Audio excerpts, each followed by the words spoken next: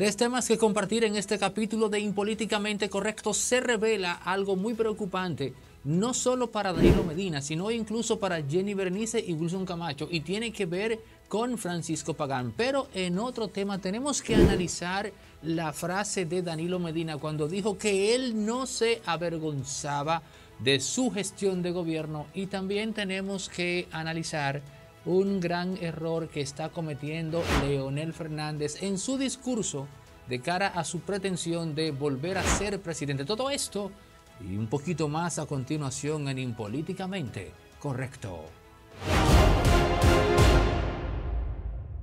Tengo que ir directo al grano en el caso de Francisco Pagán, que de manera sorpresiva resultará determinante en todo este proceso, no solo contra Danilo Medina, sino contra esa cúpula danilista que durante ocho años estuvo manejando el Estado dominicano. Y esto, una vez más, yo reitero, no se trata de, de que uno está eh, mirando permanentemente hacia el lado danilista, no. Lo que ocurre es que entre Miriam Germán Jerry Berenice y Wilson Camacho, cada cual por su lado, le están dando giros a la cosa. Y esto para mucha gente podrá ser una primicia, pero atentos. Recuerdan que Francisco Pagán fue sacado de prisión y se le dio prisión, digamos, eh, domiciliaria. Nosotros en aquel entonces fuimos quizás el único medio que dijo al guito que no se había colado que en efecto existía una preocupación en torno a la salud de Francisco Pagán. Y que si Francisco Pagán se iba al más allá estando en prisión, eso iba a afectar la lucha, la cruzada contra la corrupción del gobierno pasado, porque el principal partido opositor se iba a agarrar de esa realidad para decir que esa lucha no era contra la corrupción, sino más bien politiquera y que había comenzado a cobrarse vidas. Y que los gemelos fantásticos, adelantándose a todo eso, decidieron sacar o darle el visto bueno para que se sacara de prisión a Francisco Pagán. Esa fue la razón que nunca se dijo. Se habló de una colaboración. En efecto, hay una colaboración y así lo revela Luz Díaz, la principal abogada de Francisco Pagán. Pero hay algo que no se ha dicho y que ha tomado a todo el mundo de sorpresa en el entorno de Pagán, pero aún más en el entorno de Danilo Medina. Y es que el Ministerio Público, los gemelos fantásticos le han dicho a Francisco Pagán, mira hijo mío, para tú seguir contando con la prisión domiciliaria, tú tienes que testificar en el juicio que viene. Oigan lo que acabo de decir y quiero que deparen en esto otra vez. A Francisco Pagán lo han acorralado y le han dicho que si él no se compromete a testificar en el juicio, lo van a volver a trancar. Yo imagino, en verdad, que Danilo Medina sabe esto.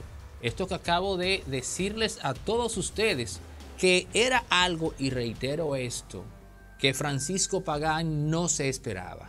Pero en esa misma línea ellos no se lo esperaban porque él comenzó a dar algo que otros no le habían dado. Estoy hablando de documentos, señor.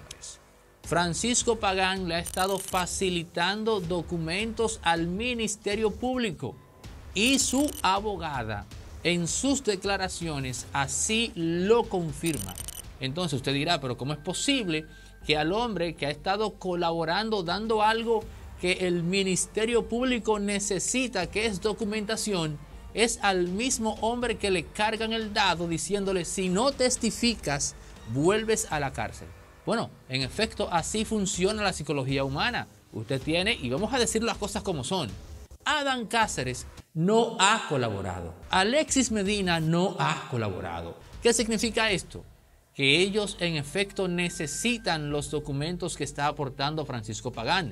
Pero como él es el único que está colaborando en sentido general, o uno de los pocos más bien, a ese es al que se le carga el dado y se va más allá con él, porque se dice, bueno, ya le está dando documentos. ¿Qué le cuesta entonces pararse ahí en el juicio y comenzar a cantar al más puro estilo de Girón, pero antes que Girón, el mismísimo Hermosén. Es cierto que Francisco Pagán tiene una condición delicada de salud, pero tras salir de la cárcel, él mejoró. Y aprovechando esa mejoría, es que Jenny Berenice y Wilson Camacho se han atrevido a meterlo en esa tesitura. Señores, después que usted está en la cárcel y que le digan que va a volver, eso es más contundente o lo único más contundente que usted verse privado de su libertad. Que una vez usted salió y volvió a respirar el aire fresco de su casa. Óiganme, que le digan, tú puedes volver a la cárcel si no haces esto. Y eso es lo que está pasando con Francisco Pagán ahora mismo. No sé, ignoro cuál será su respuesta. No sé si finalmente Francisco Pagán se atreverá a emitir declaraciones que van a comprometer a Alexis Medina y que posiblemente afecten también al expresidente Danilo. Eso queda en expectativa, queda en incertidumbre. Mientras tanto, en esa misma línea, se puede decir que Francisco Pagán le está aportando al Ministerio Público los documentos que ellos necesitaban y esperaban. Y aquí viene el giro de la página. Porque si Jenny Berenice y Wilson Camacho necesitan esos documentos, esto significa entonces que la solidez del expediente que ellos presentaron inicialmente no era tal. Porque a esta altura de juego, ellos necesitan y o quieren lo que tiene Francisco Pagán. Pero también eso confirma un rumor que comenzó a circular desde el momento mismo que se dio la primera operación que fue el antipulpo. El rumor de que ya se había montado un entramado para desaparecer documentos. Algo que en ningún momento Jenny Berenice, Wilson Camacho, ni la misma Miriam Germán, ni siquiera, digamos, mencionaron. Pero siempre corrió ese tema de que había toda una logística para desaparecer esa documentación. Y es evidente que Francisco Pagán, de donde él está sacando lo que él está entregando, tiene que ver con esa estructura de manipulación, incineración, ocultamiento de documentos comprometedores de cara a la cáfila danilista. Empresario dominicano, tienes que blindar tu empresa porque eso es lo que la protege de cualquier azar jurídico que la pueda comprometer. Y yo te recomiendo para esto que lo hagas de la mano de los expertos de CEPROJUR que trabajan en el tema de la asesoría jurídica corporativa para proteger tus intereses, proteger tus empresas. Llama ahora mismo al número que ves en pantalla y si lo haces referido por impolíticamente correcto, tienes un 20% de descuento. Protege tus intereses, protégete tú con CEPROJUR. Farmacia Medicar GBC es la farmacia de los dominicanos porque cada vez que entras a una de sus sucursales te encuentras con la agradable noticia de que sus medicamentos están a un 20% de descuento. Farmacia Medicar GBC, la farmacia de los dominicanos. En materia de viajes dentro y fuera de República Dominicana o perderte en un hotel, eso lo puedes hacer a través de Viaja Tours, expertos en confeccionar momentos agradables para ti. Números en pantalla ahora mismo y si vas referido por nosotros sin políticamente correcto, tienes un 10% de descuento.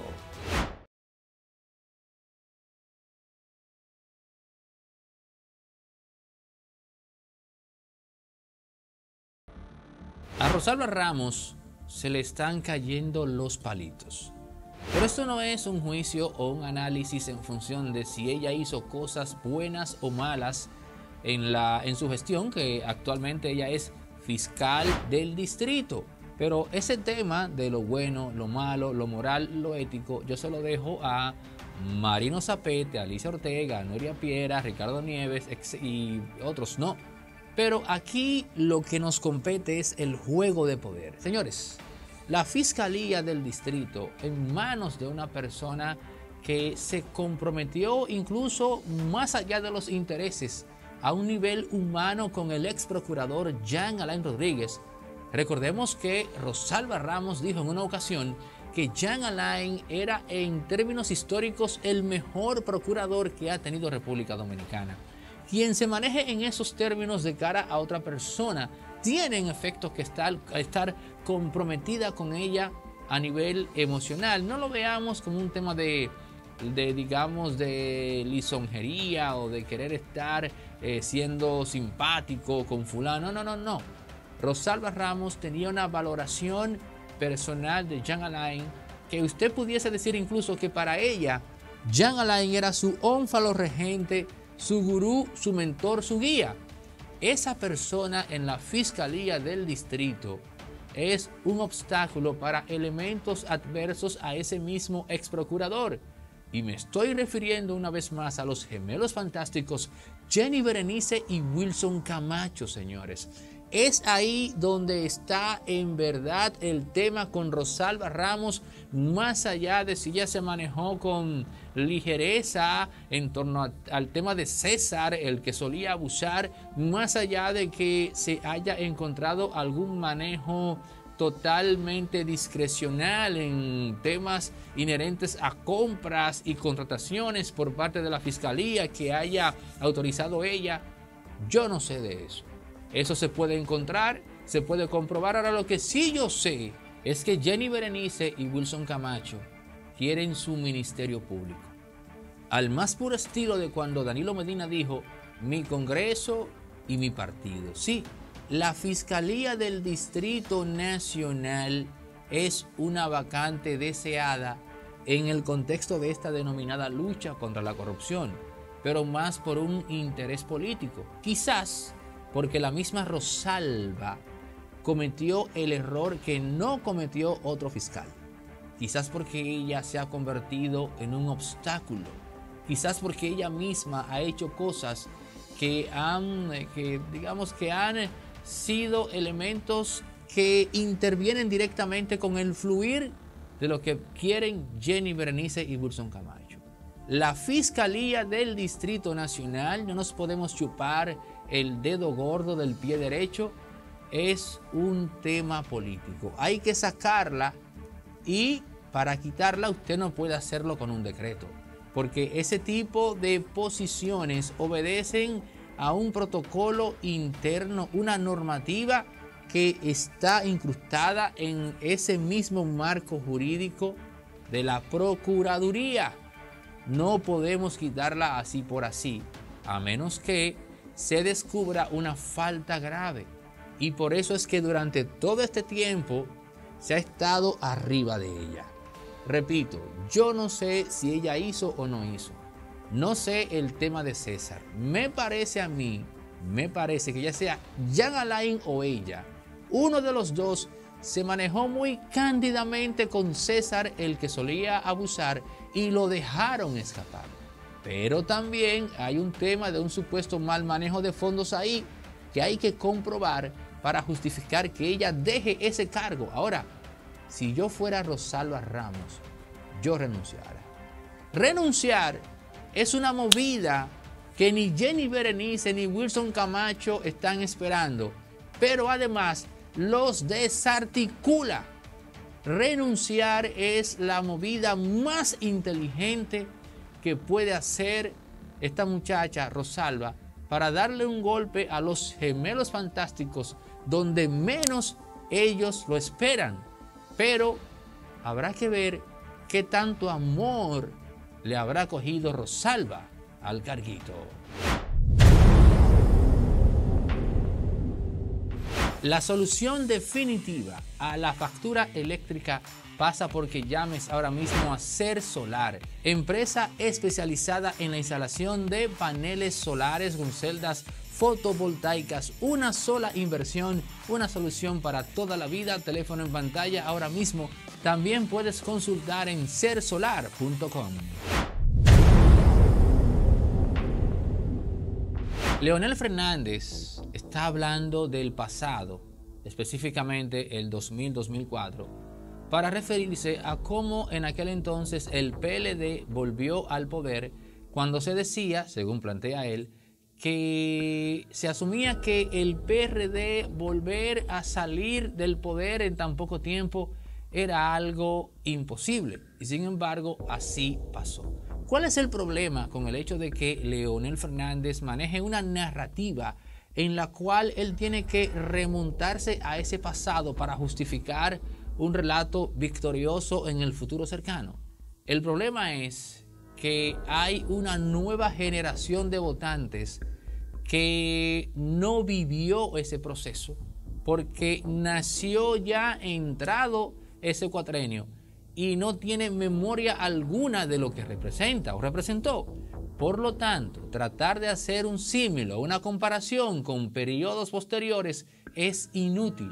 Usted le está hablando de, si se quiere, nada a esa generación de votantes que tiene hoy día entre 18 y 21 años y que sin duda será apetecible para cualquier candidato o partido, ya sea el PRM que quiere mantener el poder o incluso el mismo PLD o Fuerza del Pueblo que quieren volver. Claro, en el caso del FUPU sería la primera vez, aunque no así con Leonel, pero amén.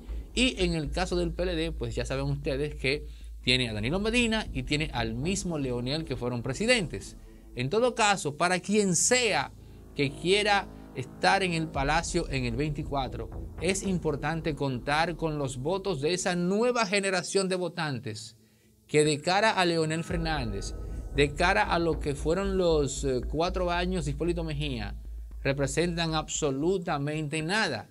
A mí en particular me luce que Leonel Fernández, y puede sonar drástico lo que voy a decir, pero con este tipo de ejercicios, Leonel Fernández hasta cierto punto está gastando saliva.